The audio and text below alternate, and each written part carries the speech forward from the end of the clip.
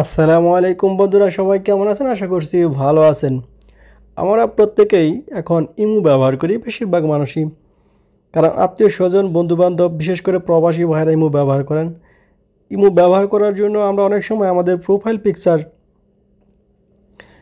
ব্যবহার করি। Profile picture আপনারা কীভাবে চেঞ্জ করবেন, আমি আজকে আপনাদের সেই বিষয়টা দেখিয়ে দিব। সেটা হচ্ছে, আপনি ধরুন আপনার প্রোফাইল পিকচারে যদি অন্য কোনো ফটো দিয়ে রাখেন বা অন্য কোনো যে কোনো ফটো দিয়ে রাখেন। হয়তো আপনি ফ্যামিলির কাছে বা বন্ধু বান্ধবের কাছে কল করলেন, তারা আপনাকে চিনতে পারল না।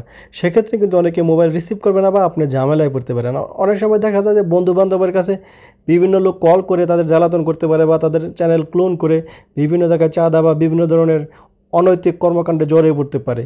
সুতরাং আমাদের প্রত্যেকেরই উচিত আপনাদের ইমুতে আপনাদের নিজের প্রোফাইল পিকচার অর্থাৎ নিজের ফটো ব্যবহার করা যাতে পরিচিতজন বুঝতে পারে যে আপনি কল করছেন।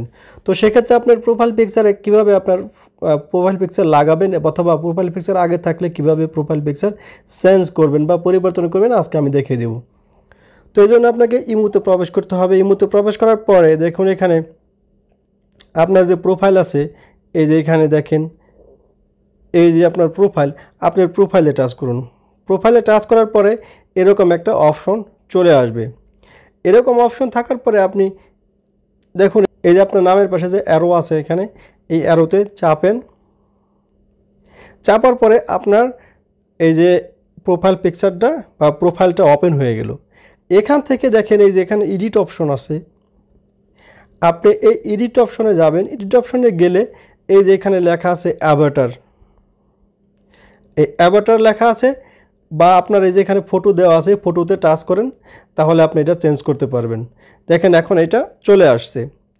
এখন আপনি কি এটা ক্যামেরা দিয়ে নেবেন, নাকি আপনি আপনার মেমোরি থেকে নেবেন? সেইটা অবশ্য এখানে দেখেন দেখুন আমি যখন এই যে ক্যামেরাতে টাচ করলাম, যখন এই যে ক্যামেরাতে টাচ করলাম, তখন দেখেন তিনটা অপশন চালু হয়ে গেছে নিচে।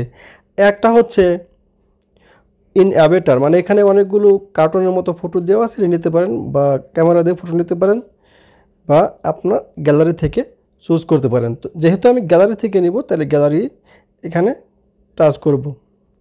এখন এখানে লেখা আসছে allow imo to access photo media and files on you device এখানে অ্যালাউ করে দিবেন। অ্যালাউ করে দেওয়ার পর আপনার মেমোরিতে বা আপনার গ্যালারি থেকে ফটো এখানে ওপেন হবে, এখান থেকে আপনি একটা ফটো সিলেক্ট করে নেবেন। Do you want to share to your story আপনি যদি এটা শেয়ার করতে চান আপনার স্টোরিতে তাহলে এখানে শেয়ার অপশনে চাপেন। শেয়ার অপশানে চা টাচ করার পরে দেখেন আপনার অ্যাভাটারটা সেভ হয়ে গেছে অলরেডি দেখেন এখানে লেখা উঠছে সেভ তো সেভ হয়ে গেলে আপনার আর কিছু এখানে করার নেই, আপনি ডাইরেক্ট ব্যাকে চলে যান। ব্যাকে গিয়ে আপনি দেখেন যে আপনার ফটো এখন মোবাইলে সেভ হয়ে গেছে বা ইমুতে সেভ হয়ে গেছে। তো বন্ধুরা, এখন দেখতে পারলেন একটা মোবাইলে কি সুন্দরভাবে আপনার প্রোফাইল পিকচার লাগিয়ে নেবেন, অর্থাৎ প্রোফাইল পিকচার আগে থাকলে সেটা কীভাবে পরিবর্তন করবেন। পরবর্তী ভিডিওতে আমি দেখিয়ে দিব আপনার নামের নিচে কীভাবে যেরকম আপনার যা মনে চায় আপনি লিখে দিবেন। যত খুশি তত সেটা আপনার বিশদ আকারে ডিসক্রিপশন আকারে বা যে কোনো জিনিস লিখে দিবেন, কীভাবে দেবেন সেটা আমি দেখে দিব। আজ এই পর্যন্তই। পরবর্তী কোনো ভিডিওতে দেখা হবে। ততক্ষণ পর্যন্ত ভালো থাকেন। আল্লাহ হাফেজ।